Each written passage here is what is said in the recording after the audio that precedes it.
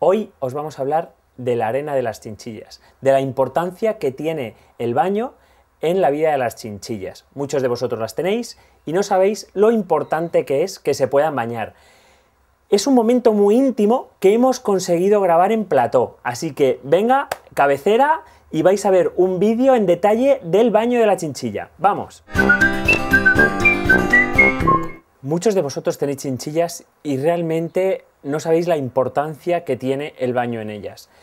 Cada chinchilla tiene que tener su arenero y dónde poder darse esos baños, porque es vital y las encanta, como vais a ver en nuestro vídeo.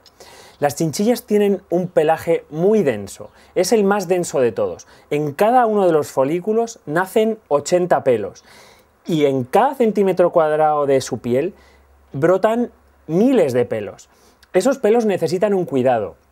Y la primera pregunta que surge es, ¿por qué las chinchillas tienen tantísimo pelo? Bueno, pues viven en altos, en los Andes, en zonas donde, sobre todo en invierno, es bastante frío y ese pelo les protege. Pero es que además no solo les protege contra el frío, sino que les protege contra sus depredadores. Hay mucha gente que se quiere comer a las chinchillas.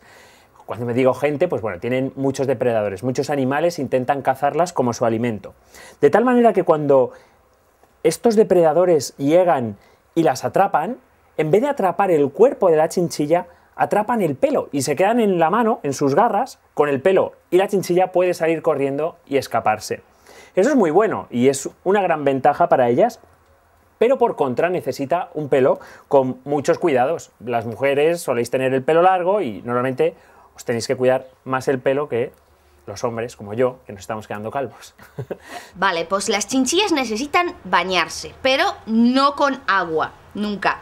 Las chinchillas necesitan una arena. Muchas veces nos preguntáis, ¿puede ser arena de playa? No, no puede ser arena, arena de playa porque aún más les vais a ensuciar. Necesitan una arena muy fina tan fina que pueda penetrar su pelaje tan tupido y sacarles la humedad o eh, cualquier suciedad que, se puede quedar atrapada en, su, en su, piel.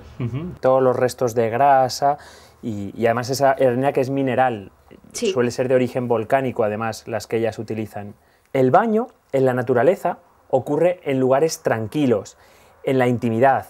Lo mismo que las personas cuando nos vamos a bañar, también lo hacemos en lugares íntimos. ¿Por qué? Estos animales en ese momento están completamente desprotegidos, están concentrando toda su energía y todos sus actos en limpiarse el pelo, olvidándose de si hay o no depredadores alrededor.